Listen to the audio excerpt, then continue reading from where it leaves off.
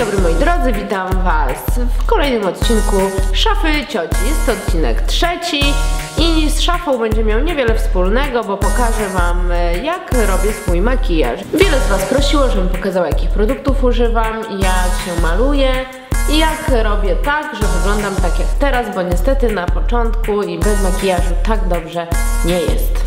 Podpinamy sobie włosy, żebyśmy mieli dostęp do czoła.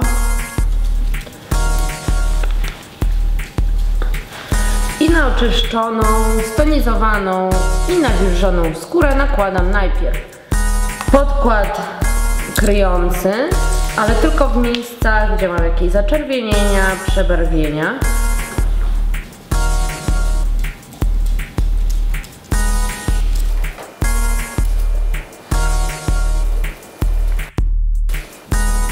I pod oczami, ale bardzo niedużo tego podkładu. Klepujemy go. Tak, żeby był prawie, że rozprowadzony. Następnie nakładam podkład nawilżający, rozświetlający na całą twarz. Oprócz tych miejsc, gdzie mam już tamten podkład. Tyk, tyk, tyk, dokładnie go rozprowadzamy, łącząc z tamtym podkładem mm, mocno kryjącym.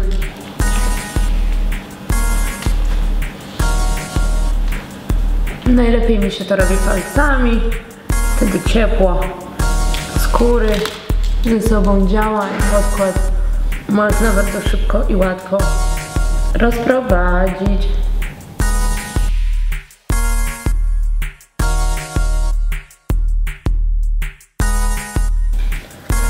Wklepujemy go.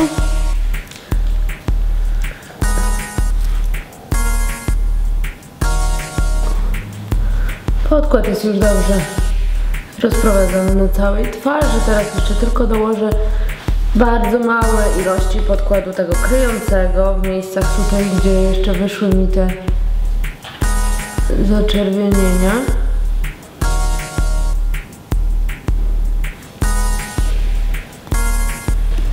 I tutaj też go dobrze uklapuję.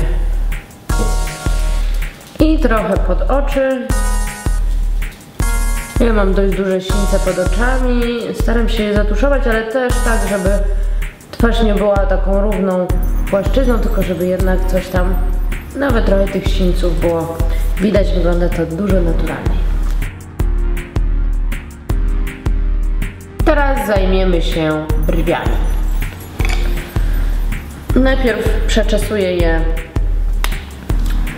szczoteczką, która jest z drugiej strony kredki, którą używam, czyli Tom Ford Brow Sculptor.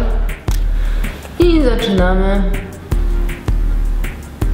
Ja tutaj jeszcze mam sporo roboty przy brwiach, bo niestety one jeszcze, końcówki tych brwi są białe po rozjaśnieniu. Tą kredką brwi maluje się naprawdę szybko, a do tego wyglądają one naturalnie.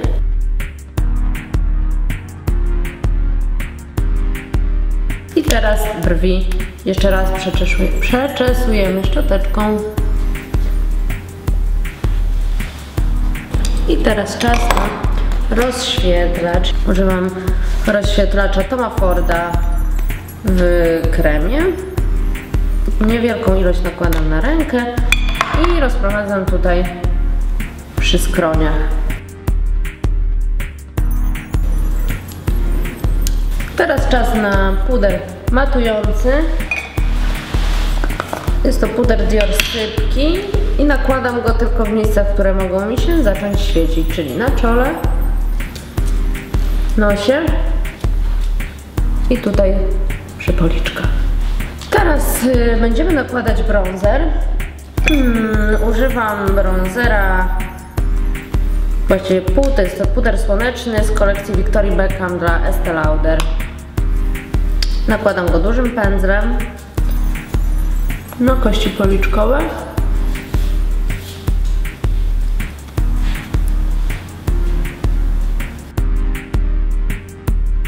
A także na czoło, skronie, czyli tutaj, gdzie właściwie pada słońce i gdzie twarz się może opalać. Nos, żuchwa, ale też na powieki. Teraz będę nakładać róż. Ja używam różu z letniej kolekcji Toma Forda, który składa się z dwóch odcieni. Ten jaśniejszy nakładam tutaj na kości policzkowe od policzka aż w stronę skroni. A ciemniejszy tutaj na policzek, ale bardzo delikatnie. Na koniec dołożę jeszcze trochę rozświetlacza Smashbox.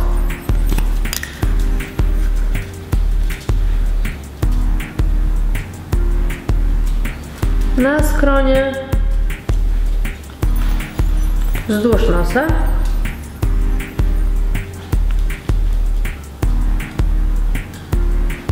Oraz tutaj nad ustami. Pomaluję rzęsy, chociaż nie zawsze mi się to zdarza. Jestem leniwa i nienawidzę później zmywać tuszu. Używam maskary Yves Saint Laurent Volume Effet Fossil Shocking. Dlatego, że kupiłam ją na lotnisku.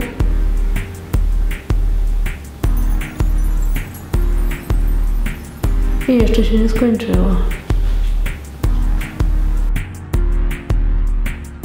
A do ust użyję mojej najukochańszej pomadki Aqua Rouge Make Up Forever, kolor numer 17.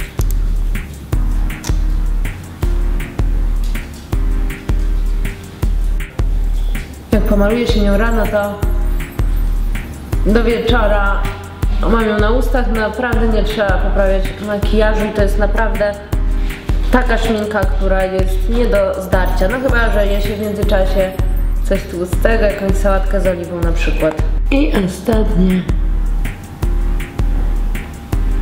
pociągnięcie. Tak właśnie wygląda mój makijaż. Tak maluje się na co dzień i tak maluje się też na specjalne okazje, więc ten makijaż jeden od drugiego nie różni się niczym. O, a tak wygląda z grzybką. A na zakończenie pokażę Wam, jak obcinam nogawki w spodniach. Potrzebne mi będą spodnie, oczywiście, które chcę obciąć oraz spodnie, które już obcięłam mają idealną długość. A jak ktoś nie ma spodni, które już obciął? To musi sobie wymierzyć mniej więcej ile chce ciachnąć. Spodnie mm, prototypy składamy równo.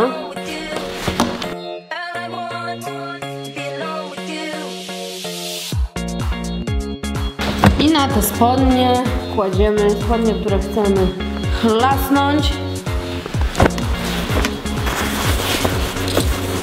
Odmierzamy sobie oczywiście tutaj od tego szwa tylnego. No i zaczynamy ciachanie, tak jak tutaj jest długość, to tak robimy. Dobra, nadcięłam sobie i zaczynam pierwszą nogawkę. Ja lubię jak nogawki są do kostki, nawet trochę krócej, więc tak też mam nadzieję uda mi się ciachnąć. Pierwsza jest. I teraz druga.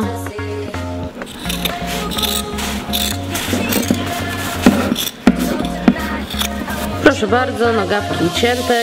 A jeśli chodzi o postrzępienie, to one same się postrzępią w czasie noszenia i prania. Spodnie gotowe. Proste? Proste. No i teraz będą miały idealną długość. Super. Dziękuję bardzo kochani za uwagę. Mam nadzieję, że Wasza ciekawość została zaspokojona i już wiecie jak obcinać nogawki w spodniach. Tradycyjnie zachęcam Was również do subowania, komentowania, szerowania tego filmiku. Yy, I cóż, widzimy się już w niedzielę w kolejnym wydaniu Q&A.